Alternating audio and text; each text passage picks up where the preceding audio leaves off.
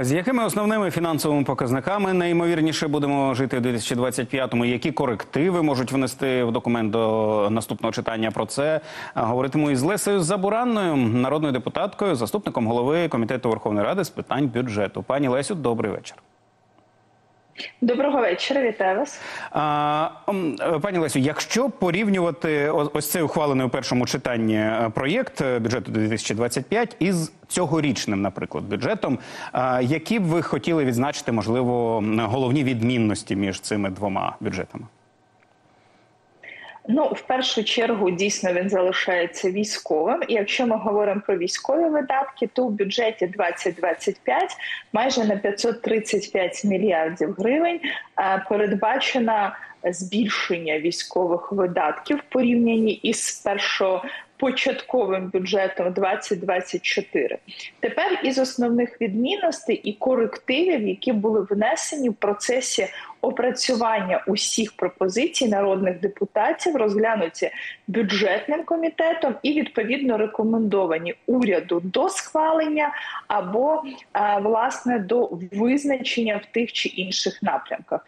Перше серед головних це те, що усі ресурси, які спрямовуються і формують дорожній фонд, а це більше 43 мільярдів. е, Ми підтримали таке рішення, щоб спрямувати їх до загального фонду. Що це означає? Що фактично весь дорожній фонд тепер буде знаходитись в загальному фонді, і ми маємо можливість витрачати ці кошти. Першу чергу на сектор безпеки і оборони. Друге із важливих це те, що ми, скажімо так, запропонували як парламент певні такі е, особливості для підтримки наших регіонів.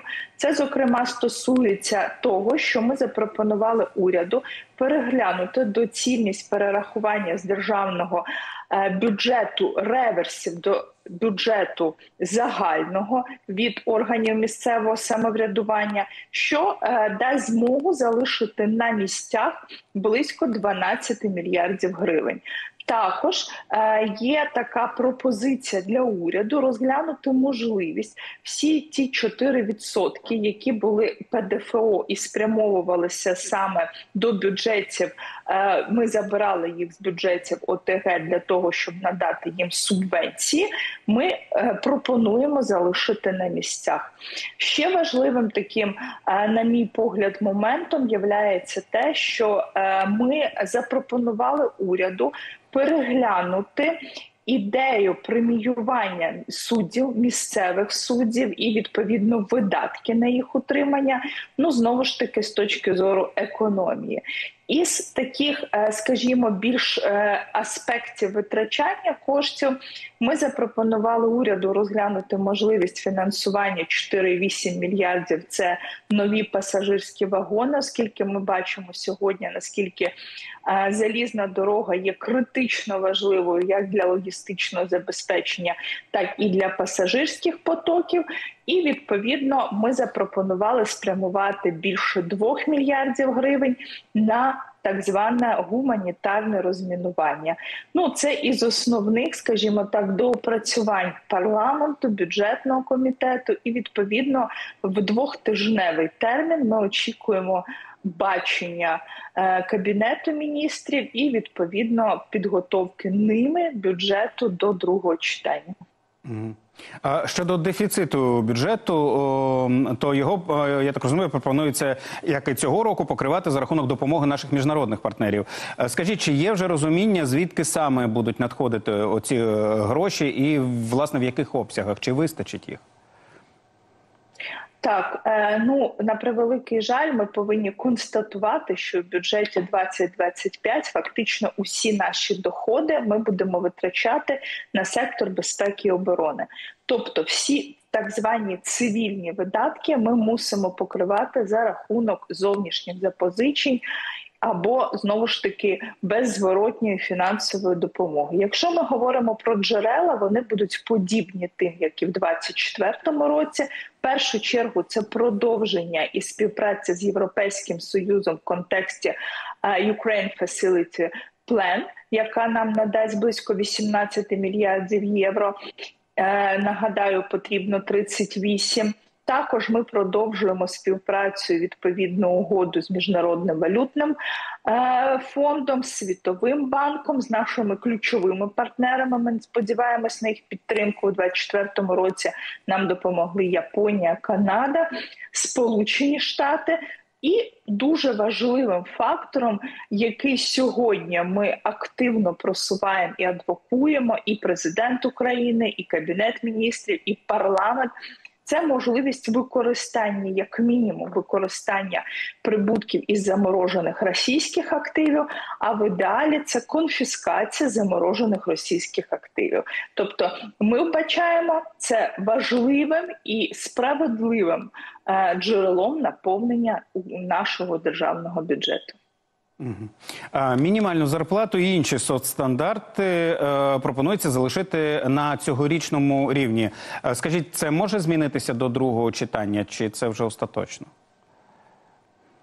Дякую за запитання. Е, Я вам скажу відверто. Ми всі про це дуже багато говорили, і є дуже велике бажання дійсно мінімальну заробітну плату і інші соціальні витрати е, виплати, прошу вибачення, підвищити. Але е, як ми з вами буквально щойно проговорили, дефіцит державного бюджету і відсутність повного на сьогоднішній день масштабу і можливості покриття його ну е, викликає складність в цьому контексті. Я вам наведу простий аргумент: підвищення мінімальної заробітної плати на 100 гривень. Е, Потребує додатково 5 мільярдів у державному бюджеті. Тобто, фактично, ми е, в першу чергу сьогодні ставимо перед собою мету покрити існуючий дефіцит, знайти ці 38 мільярдів на цивільні видатки. І уже в другу чергу це відповідно за можливості шукати джерела для того, щоб підвищити соціальні стандарти. Але повертаючись до моєї попередньої тези, ну по перше. Ми всі щиро віримо. Я хочу вірити, що все ж таки війна завершиться у найближчі часи. В 25-му році ми вже будемо без війни в країні, що дасть можливість переспрямувати військові видатки. Першу чергу на соціальні питання, і друге, знову ж таки повторюсь, ми активно працюємо над тим, щоб е, вилучити, конфіскувати, щоб наші партнери підтримали е, саме заморожені російські активи і максимально використати гроші ворога е, для того, щоб ну, хоча б знаєте, в якомусь сенсі, е, скажімо, компенсувати всю ту шкоду. Безумовно, про моральний аспект неможливо тут порівнювати, але, хоча б з точки зору е, відбудови, з точки зору підвищення соціальних стандартів для людей. Ну і ще у нас залишається хвилинкою часу. Хотів спитати е, загалом про соціальні програми. Е, Чи передбачено скорочення фінансування, можливо, якихось із них, чи, чи можливо навпаки збільшення? Трошки більше про це можна? Е, Ну, власне, Міністерство соціальної політики, як і в 2024 році, так і в 2025 році, отримало найбільшу кількість фінансування після сектору безпеки і оборони.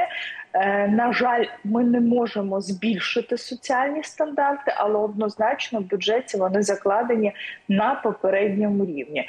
І якщо ми говоримо про той же е, аспект індексації пенсій, які згідно законодавства мають відбутись в березні, це теж передбачено власне бюджетом 2025. Тому е, жодного скорочення, ліквідації або зменшення соціальних програм однозначно не передбачається. Пані Лесі, дуже дякую вам за відповіді, такі змістовні на наші запитання. Це була Леся Дякую. Забуранна, народна депутатка, заступниця голови парламентського комітету з питань бюджету. Дякую.